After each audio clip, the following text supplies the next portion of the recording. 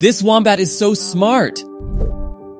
This wombat casually enters this man's house and greets the man. This father then tells his daughter to prepare to feed this little guy.